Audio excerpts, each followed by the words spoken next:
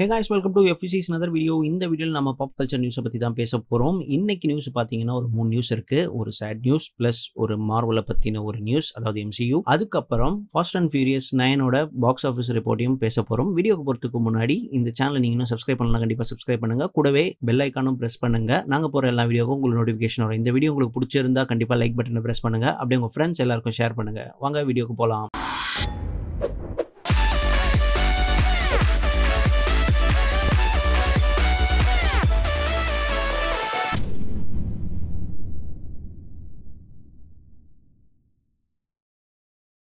So first news என்னென்னு பார்த்தீங்கன்னா ஒரு சேட் நியூஸ் ரிச்சர்ட் டானர் வந்து தொண்ணூத்தொரு வயசில் இறந்துட்டாரு. இவர் தான் முதல் முதல்ல ஒரு மனுஷனால் பறக்க முடியும்னு பிக் ஸ்க்ரீனில் காட்டினவர். அதாங்க சூப்பர்மேன் நைன்டீன் செவன்டி எயிட்டில் ரிலீஸ் ஆன படத்தோட டைரக்டர் இவர் தான். இதுதான் first super super hero movie இதுக்கு முன்னாடி நைன்டீன் டுவெண்ட்டீஸில் த மாஸ்க் ஆஃப் ஜாரோ அந்த மாதிரி விஜிலாண்டி டைப் மூவிலாம் வந்திருந்தாலும் இந்த சூப்பர்மேன் நைன்டீன் செவன்டி எயிட்டில் வந்த படம் தான் முதல் சூப்பர் பவர் இருக்கிற சூப்பர் ஹீரோ மூவி இந்த படத்தை பார்த்தீங்கன்னா அதோட விஎஃப்எக்ஸ்லாம் பார்த்தீங்கன்னா அந்த வருஷத்துல வந்த படமா அப்படின்ற அளவுக்கு பயங்கரமா வியப்பூட்டக்கூடிய வகையில காமிச்சிருப்பாங்க. நிறைய பேருக்கு இந்த நைன்டீன் செவன்டி எயிட்ல வந்த படம் வந்து ஒரு பயங்கரமான இன்ஸ்பிரேஷனா இருந்திருக்கு. ஈவன் கெவின் ஃபைகியே வந்து இவரோட டெத்துக்கு அப்புறம் இந்த நைன்டீன் செவன்டி எயிட் சூப்பர்மேன் படம் அவரை எப்படி இன்ஸ்பயர் ஆக்குச்சு அப்படின்னு சொல்லியிருந்தாரு.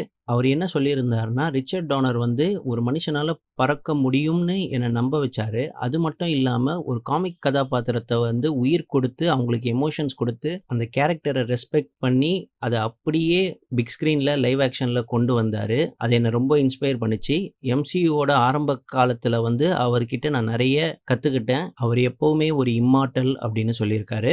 இவரை வந்து செவன்டிஸோட ஜாக் ஸ்னைடர் சொல்லலாம். ஏன்னா ஜாக் ஸ்னைடருக்கு நடந்த மாதிரி இவருக்கும் நடந்திருக்கு. சூப்பர்மேன் டூ அப்போ இவரை ரிப்ளேஸ் பண்ணி ரிச்சர்ட் லெஸ்டர்னு இன்னொரு டேரக்டரை போட்டு அந்த படத்தை எடுத்தாங்க. கிட்டத்தட்ட இருபத்தாறு வருஷம் கழிச்சு சூப்பர்மேன் டூ ரிச்சர்ட் டோனர் கட்டுன்னு இவரோட வெர்ஷன் ரிலீஸ் ஆச்சு. ஆனால் தேட்டரில் ரிலீஸ் ஆகல. டிவிடி ப்ளூரேல தான் ரிலீஸ் ஆயிருந்தது. கிரிட்டிக்ஸ் கிட்ட நிறைய பாசிட்டிவ் ரிவ்யூஸ் வாங்குச்சு இந்த படம். இது தவிர ரிச்சர்ட் டானர் வந்து த ஓமென்னு ஒரு ஹாரர் மூவி எடுத்திருக்காரு. இந்த படம் வந்து நைன்டீன் செவன்டி சிக்ஸ்ல ரிலீஸ் ஆச்சு. வேற லெவல் கல் கிளாசிக்கா அமைஞ்சது இந்த படம். இந்த படத்தை பார்த்து தமிழ்லயே நிறைய படங்கள் வந்து அதே மாதிரி ஸ்டோரி லைன்ல வந்திருக்கு. ஜென்ம நட்சத்திரம்னு ஒரு படம் வந்தது. அது அப்படியே இந்த படத்தோட காப்பி தான். அதுக்கப்புறம் யாருன்னு ஒரு படம் வந்தது. அந்த படமும் ஓரளவு ஸ்டோரி லைனோட ஒத்து போகும் இதுக்கப்புறம் ஸ்பீல்பர்க் கதை எழுதி கூனிஸ்னு ஒரு படத்தை டைரக்ட் பண்ணாரு. அதுக்கப்புறம் லீத்தல் வெப்பன் பிரான்ச்சைஸ்ல வர நாலு படத்தையும் டைரக்ட் பண்ணதும் இவர் தான் greatest legend surely he will be missed இருந்தாலும் இவரோட படங்கள் வந்து எப்போவுமே ஒரு கல்ட் ஃபாலோயிங் இருந்துட்டே இருக்கும். நெக்ஸ்ட் நியூஸ் போயிடலாம். எஃப்எஃப் நைனோட பாக்ஸ் ஆஃபீஸ் ரிப்போர்ட் தான் இப்போ பார்க்க போகிறோம் இது வந்து ஐநூறு மில்லியனை தாண்டிடுச்சு வேர்ல்டு வைட் பாக்ஸ் ஆஃபீஸில் ஏற்கனவே சைனீஸ் ரிலீஸில் வந்து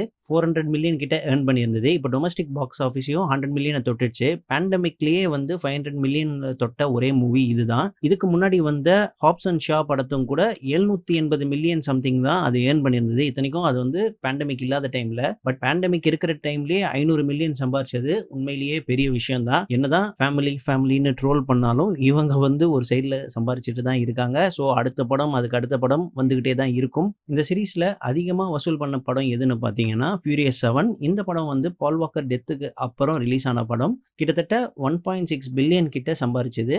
இதுக்கு அடுத்து என்ன படம்னு பார்த்தீங்கன்னா the Fate of the Furious அதாவது இதுக்கு அடுத்து வந்த படம் ஃபாஸ்ட் அண்ட் ஃபியூரியஸ் எயிட்டு அது எவ்வளோ சம்பாரிச்சதுன்னு பார்த்தீங்கன்னா ஒன் பாயிண்ட் த்ரீ பில்லியன் கிட்ட சம்பாரிச்சது. இந்த ஃபாஸ்ட் அண்ட் ஃபியூரியஸ் நயன் வந்து இந்த சீரீஸ்லேயே ஆறாவது அதிக வசூல் குவிச்ச படமாக இருக்குது. பட் ஸ்டில் கம்பேர் பண்ணக்கூடாது ஏன்னா இது பேண்டமிக் டைமில் ரிலீஸ் ஆயிருக்கு. பேண்டமிக் டைமில் ஐநூறு மில்லியன்றதே பெரிய விஷயம். இந்த படம் வந்து காட்ஜிலா வர்சஸ் காங்கோட பாக்ஸ் ஆஃபீஸ் ரெக்கார்டையும் முறியடிச்சிருச்சு. எஃபி இன்ஸ்டா ட்விட்டர் ரெடிட்னு ட்ரோலா போட்டு தள்ளிட்டு இருந்தாலும் இந்த படத்தோட சக்ஸஸை யாராலையும் தடுக்க முடியாது. ஏன்னா இந்த படத்துக்கு ஒரு செப்பரேட் ஃபேன் பேஸ் இருந்துட்டு தான் இருக்கு. ஃபாஸ்ட் அண்ட் ஃபியூரியஸ் டென்னும் வரதான் போகுது லெவனும் வரதான் போகுது டுவெல்லும் வரதான் போகுது.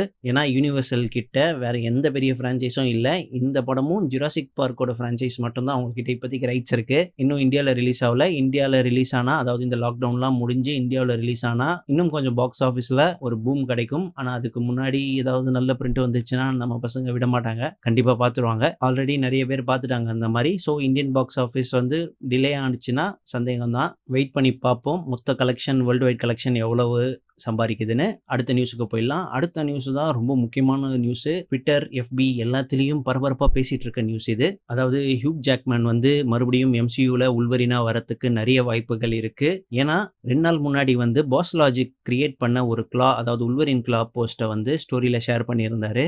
அப்போ வந்து சும்மா ஏதோ ஒரு நாஸ்டாலஜிக்காக ஷேர் பண்ணுறாரு அப்படின்னு நினச்சிட்டு இருந்தாங்க. ஆனால் அதுக்கு அடுத்த நாளே பார்த்தீங்கன்னா, கெவின் ஃபைகியோட ஒரு ஃபோட்டோ ஷேர் பண்ணியிருந்தாரு. அதே இன்ஸ்டா ஸ்டோரியில் இப்போ வந்து நிறைய பேர் வந்து அதை பற்றி பேச ஆரம்பிச்சிட்டாங்க ஒருவேளை ஹியூ ஜாக்மேன் வந்து மறுபடியும் உள்வரினா வரப்போறாரோ எம்சியூவில் அப்படின்ற மாதிரி பேச ஆரம்பிச்சிட்டாங்க இதுக்கு முன்னாடி வந்து கெவின் ஃபைகி வந்து பேட்ரிக் ஸ்டீவர்ட் கிட்ட சார்லஸ் ஜாவியர் ரோலை எடுக்க சொல்லி பேசியிருந்தாரு. ஏற்கனவே எம்சியூவில் இந்த ரோலை நீங்கள் ரிப்ரேஸ் பண்ணணும்னு பேட்ரிக் ஸ்டீவர்ட் கிட்ட அப்ரோச் பண்ணியிருந்தாரு. ஆனால் பேட்ரிக் ஸ்டீவர்ட் வந்து வெளிப்படையாகவே நான் இனிமேல் அந்த ரோலை எடுத்து நடிக்க மாட்டேன் அப்படின்னு ஓப்பனாகவே சொல்லிட்டாரு. அதே மாதிரி கெவின் ஃபைகி வந்து இயன் மெக்கலன் கிட்டயும் மேக்னீட்டோ ரோல் பத்தி பேசியிருக்காருன்னு ஒரு ரூமரும் இருந்துட்டு இருக்கு. ஸோ இதெல்லாம் பார்க்கும்போது நிஜமாவே வந்து ஹியூக் ஜாக்மேனை வந்து கெவின் ஃபைகே அப்ரோச் பண்ணியிருக்கலாம். ஏன்னா ஹியூக் ஜாக்மேனை தவிர வேறொரு ஒரு வந்து உள்வரின் ரோலுக்கு ஆப்டா இருக்க முடியாது. என்னதான் டாம் ஹார்டிலாம் இருந்தாலும் ஹியூக் ஜாக்மேனோட லெகசியை ரிப்ளேஸ் பண்ணுறது ரொம்ப கஷ்டம். அதுதான் கெவின் ஃபைகிக்கும் தெரியும்னு நினைக்கிறேன் அதனால தான் அப்ரோச் பண்ணியிருக்கணும். ஏன்னா எக்ஸ்மென் சீரீஸில் கூட ஹியூக் ஜாக்மேனோட உள்வரினுக்கு வந்து ஒரு தனி ஃபேன் பேஸ் அமைஞ்சது. அதனால தான் அந்த கேரக்டருக்கு ஒரு தனி ட்ரைலஜியை வச்சாங்க.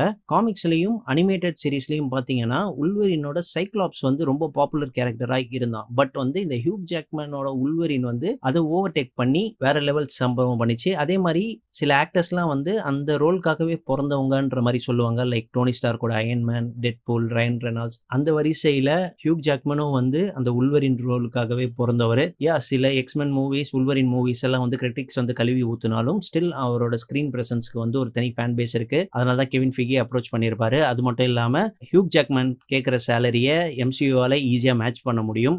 ஸோ எல்லாருக்கும் வின் வின் சுச்சுவேஷன் தான். எம்சியும் பார்த்தீங்கன்னா, ராபர்ட் டோனி ஜூனியர், கிறிஸ் எவன்ஸ்லாம் இல்லாமல் ஒரு பிளண்ட்டாக இருக்கிற மாதிரி இருக்குது ஸோ ஹியூக் ஜாக்மேனை ரெக்ரூட் பண்ணி அவரோட உள்வரின் கேரக்டரை உள்ளே கொண்டு வந்து இந்த எக்ஸ்மேன் யூனிவர்ஸை எக்ஸ்ப்ளோர் பண்ணாங்கன்னா, இன்னொரு 10, 15 வருஷத்துக்கு வந்து எம்சியூவை யாராலையும் அசைச்சிக்க முடியாது. ஏற்கனவே ரயன் ரெனால்ஸோட டெட்பூல் த்ரீ வந்து மார்வல் ஸ்டுடியோஸ் வந்து கிரீன் லைட்டு கொடுத்துட்டாங்க ஆனால் அது வந்து எம்சியூவில் நடக்குதான்றது வந்து இன்னும் கன்ஃபார்ம் ஆகலை ஸோ அதே மாதிரி மார்வல் வந்து இப்போ மல்டிவர்ஸ் எக்ஸ்ப்ளோர் பண்ணுறதால இந்த கேரக்டர்ஸ் எல்லாம் ஈஸியாக உள்ளே கொண்டு வந்துடலாம் எவ்வளோ பெரிய பிளாட்டோல் இருந்தாலும் இந்த மல்டிவர்ஸ்ன்ற ஒன்றத்தை வச்சு எல்லாத்தையும் அடைச்சிடலாம். ஆனால் இதில் ட்விஸ்ட் என்னென்னு பார்த்தீங்கன்னா, கெவின் ஃபைகியும், ஹியூக் ஜாக்மனும் சேர்ந்து எடுத்த ஃபோட்டோ எப்போ எடுத்ததுன்னு கேட்டீங்கன்னா, 2013ல சான் சாண்டியகோ காமிக் கான் அப்போ எடுத்தது. அதே மாதிரி லாஸ்ட் இயர் கூட ஹியூக் ஜாக்மேன் வந்து இட்ஸ் டைம் டு மூவ் ஆன்னு சொல்லியிருந்தாரு. ஒருவேள 20த் செஞ்சுரி ஃபாக்ஸ வந்து டிஸ்னி வந்து ஏழு வருஷத்துக்கு முன்னாடி அக்வயர் பண்ணியிருந்தா, ஓ yes I am ready for இட்னு இருந்திருப்பேன். பட் இப்போ வந்து it's time to move on. நான் வந்து இந்த டார்ச்சை வந்து வேற ஒரு ஆக்டருக்கு வந்து பாஸ் பண்ணி விடணும் அப்படின்ற மாதிரிலாம் டூ தௌசண்ட் தேர்ட்டீன்ல சொல்லியிருந்தாரு. பட் இப்போ பார்த்தீங்கன்னா, இந்த பிக்சர்லாம் வந்து இன்ஸ்டால ஷேர் பண்ணும்போது ஃபேன்ஸ் மத்தியில வந்து நிறைய ஸ்பெகுலேஷன் எழும்புது. எங்க அவர் திரும்ப வரப்போறாரா அப்படின்ற மாதிரி ஒரு எக்ஸ்பெக்டேஷன் எல்லாருக்கும் ஏற்படுது. நீங்க என்ன நினைக்கிறீங்க